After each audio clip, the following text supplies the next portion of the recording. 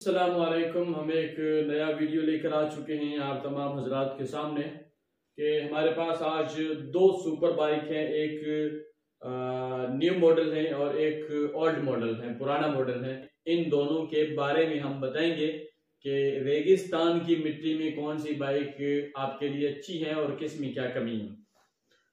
तो देखते रहिए, ये जो हमारी न्यू मॉडल की सुपर बाइक है, ये रोड पर बहुत अच्छी है इसका ब्रेकिंग सिस्टम भी बहुत अच्छा है लेकिन हमारे यहाँ रेगिस्तान में चलाने के लिए ये इतनी आ, मतलब आसान नहीं है जितनी ये सुपर पुराना मॉडल आसान है। क्योंकि आप देख लें ये जो बाइक है न्यू मॉडल सुपर है इसमें कमी ये है कि अगर ये एक बार लपक जाए तो फिर 80 परसेंट चांसेस गिरने की ही है। और अगर ज़्यादा मतलब रेती के ड्राइवर अच्छे नहीं है, रेती में कभी चलाते नहीं है तो एक से एक परसेंट चांस है कि एक बार लपक जाए तो फिर गिरना ही है।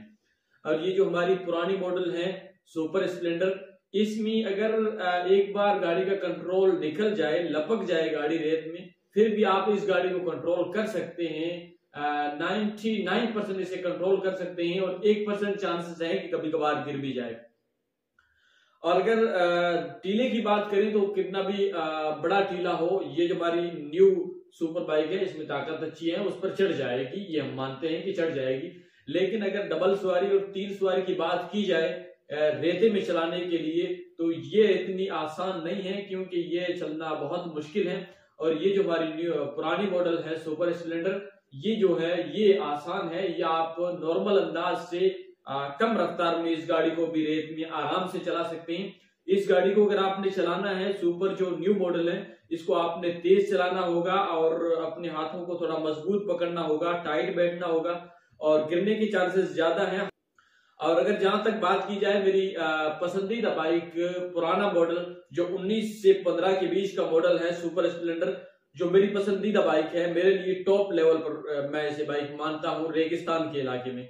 अगर इनकी बात की जाए तो इनको आप तीन सवारी के अंदर भी नॉर्मल तरीके से आ, कम स्पीड पर भी चला सकते हैं और तेज स्पीड पर भी चला सकते हैं। इसमें गिरने के रेती में चांसेस बहुत कम है और कंट्रोल भी कर सकते हैं। इसको आप ये एक बात और है कि इसको आप हर एंगल पे रेती में घुमा नहीं सकते।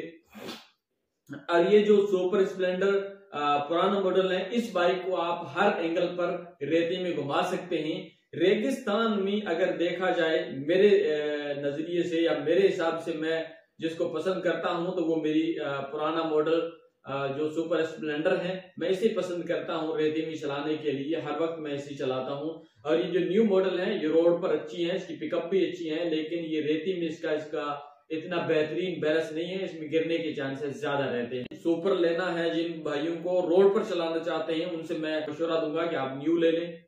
और जो रेती में ज़्यादातर चलते हैं, उनसे मेरी गुजारिश है कि भूल कर भी आप न्यू न सुपर स्प्लेंडर ना लें, बल्कि आप पुराना सुपर स्प्लेंडर जो कि है, वही लें, वो आपके लिए बेहतर है।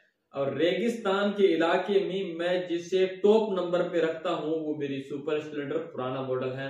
मेरे पास कुछ इन्फॉर्मेशन थी इन बाइकों के बारे में जो मैंने आप तक पहुंचाई है। ये वीडियो मेरा अच्छा लगा हो तो आगे शेयर करें लाइक करें और जो भाई हमारे साथ जुड़ना चाहते हैं, वो हमारे चैनल को सब्सक्राइब करें और बेल आइकन पर क्लिक करें, ताकि हमारा आने वाला हर वीडियो का नोटिफिकेशन आप तक पहुँच सके। थैंक यू शुक्रिया, जजाकल्ला।